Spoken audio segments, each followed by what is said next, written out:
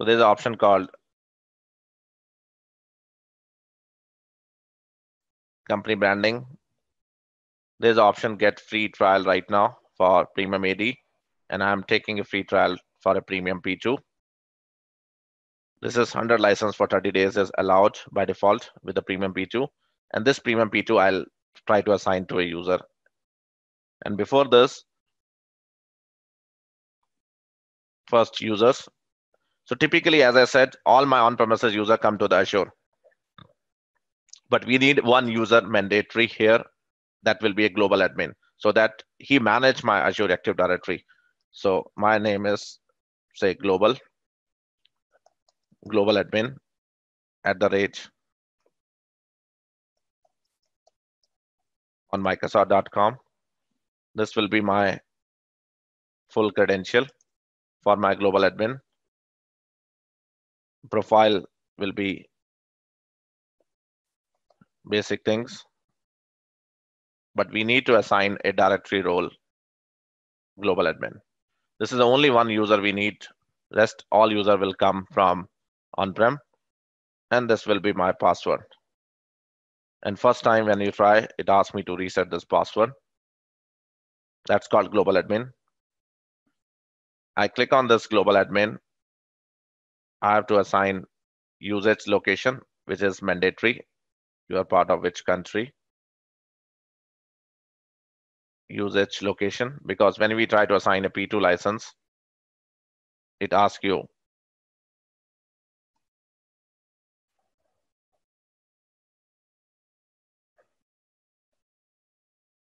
to assign the license. It asks you to assign this usage location. So that's called the first part. Second part is when I go to when I go to licenses. So I have one product available now. And I try to assign this P2 to my users. So it's a user level license. Whatever the number of users you have, you have to assign those to a users. So I have only one user right now, which is a global admin. And I'm trying to assign that premium P2 to that global admin. So now this user have P2 functionalities, self password reset and all those things what we discussed, you know. And so that's why you so you see now after this refresh,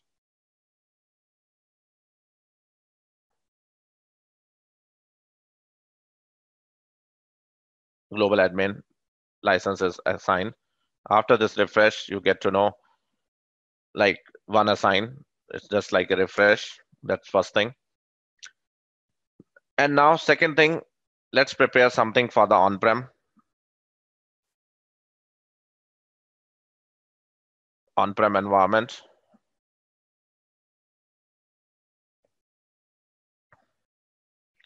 So I have a couple of my on-prem VMs available.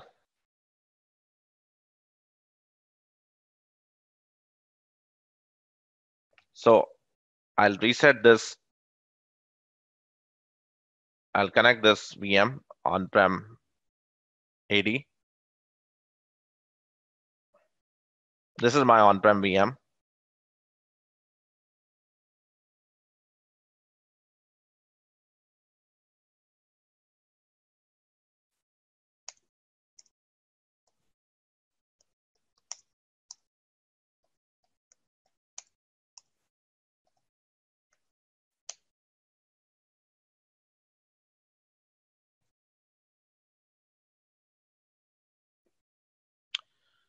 So for, for understanding better purpose, I'll reset this VM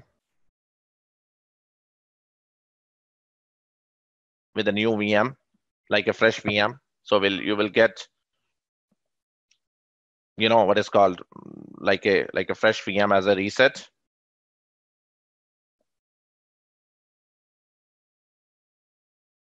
And then I'll create my on-prem environment upfront so that you'll get a better clarity.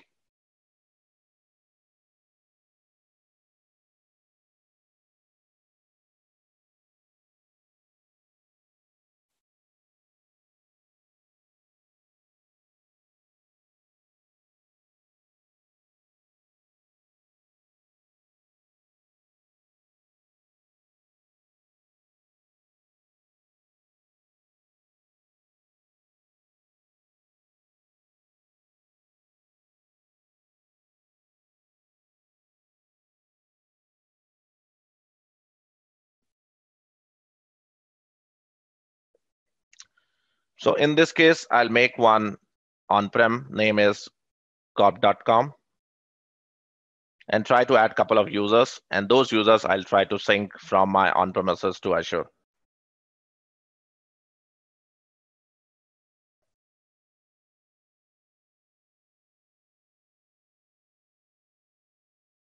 So this is my fresh VM.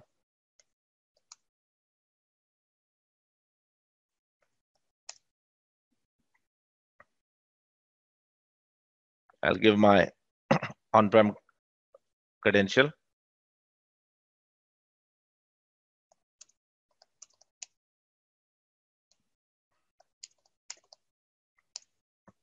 Same IP and same DNS like on-prem.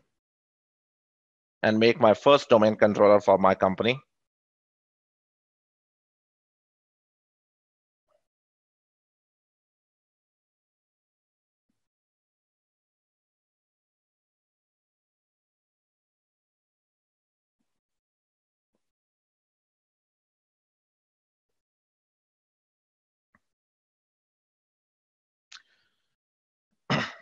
So while do while creating this, let me talk about that basic steps what we need to configure Azure AD Connect.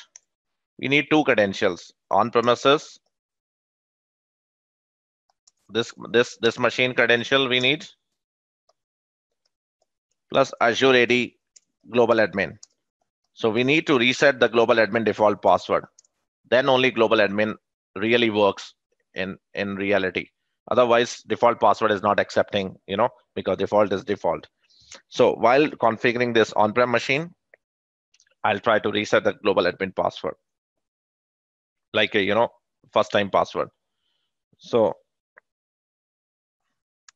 so this is my fresh VM for on-prem AD.